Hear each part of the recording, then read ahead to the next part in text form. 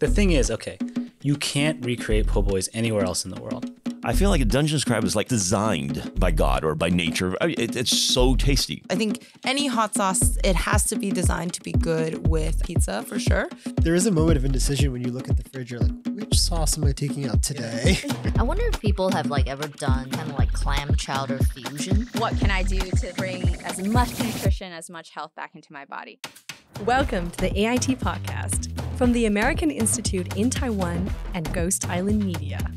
We're here to talk about everyone's favorite topic food. In each episode, we'll discuss with the special guest food from an American city. Season one, we head to Boston, New York, San Jose, Orange County, and New Orleans. Subscribe to the AIT podcast now in your favorite podcast app.